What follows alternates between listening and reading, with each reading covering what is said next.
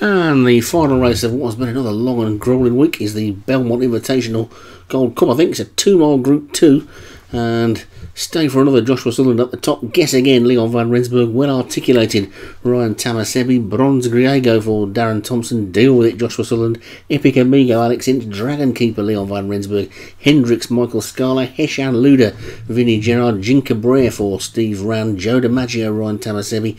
Jurisdiction, Robert Steve Rand. Red Law, Alex Cherry. Yasir Chippy. Alex Ince, Beholder, Dan Hughes, Gold Match and Arrival for Satyam, Lady Pyrene for Jim Murray, and Red Ruth Sky for Craig Allen. 18 runners over two miles. Probably not what I wanted to see for the final race of the week, two miles, but they're all in and away they go. And why couldn't this have been a five furlong sprint? Anyway, well articulated. He's going to get into the lead and he's going to get across to that fence and be the undisputed leader through the first furlong, I would think, with Hendricks going well in second in the red, blue, and yellow. With Epic Amigo on his outside, also close up with two of these quite wide on the track. Beholder, the grey in the in the sort of royal blue. Oh, right over on the far side has got a great berth up the inside right if it can get through into into holding that position without getting boxed in. Well articulated is the leader. Being chased by Stay for another in the black and red hoops. He threw up the centre of the track are Hendricks and Epic Amigo and Yasir Chippy with chasing them Lady Pyrene. The Grey's Jurisdiction Roberts I think. Or it might be Jinka Brewer actually because there's two Steve Rands. I think Jinka Brewer is the grey the other one's on the rail.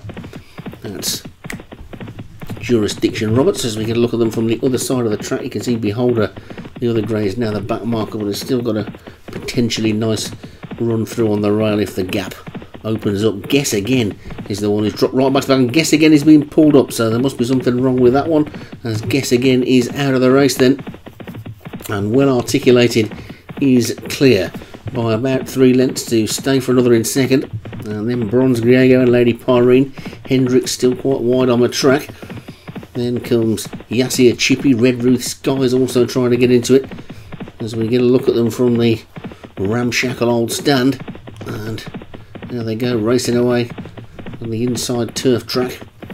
And well articulated is the leader by about three lengths to Lady Pyrene has moved through to second. Bronze Griego is now third. For another is fourth. Epic Amigo and Yasir Chippy still wide on the track but getting in a little bit closer. Hendricks has got itself trapped in on the inside as well. Red Ruth Sky's in the middle of that lot as well. Jurisdiction Roberts is also getting boxed in and now suddenly Beholder the position for that one doesn't look anywhere near as promising as it did earlier but it's well articulated as a length clear of Lady Pyrene in second. Epic Amigo and Yasir Chippy stablemates running together wide on the track. Then Red Ruth Sky trying to go past them. Also going there is Bronze Griego and stay for another Hendricks Jurisdiction. Roberts trying to get going as well, but it's still well articulated who's the leader and well articulated is still too clear of Lady Pyrene in second. Red Ruth Sky third. Yasir Chippy and Epic Amigo running big races. Then comes Bronze Griego. Gold Match and Arrival is now trying to get into it. Hendricks and deal with it. Stay for another. Then Jurisdiction. Roberts Beholder is now starting to run through horses, but it's well articulated who's now three or four clear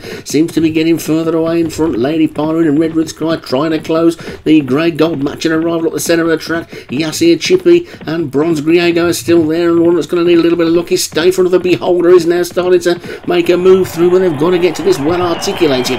Well articulated racing down towards the final furlong, and it looks like this one might have slipped the field. And Ryan Tamasebi started the week off winning the Queen Anne Royal Ascot, and it looks like he's going to finish it off by taking this two mile Group 2 race, and it's well articulated, races up towards the line, never saw another horse all the way around really, well articulated wins it Riddler's Sky second, Lady Pyrene third, then stay for another gold match and a rival, Yasir Chippy ran a good race, and that's week six sorted, and it's a win for well articulated for Ryan Tamasebi, who's probably done better on the flat this week than he did on the jumps, which is all the other way around.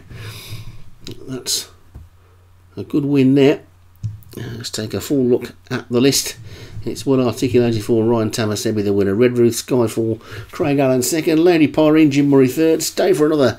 Joshua Sutherland fourth, gold match and arrival for Satyam was fifth.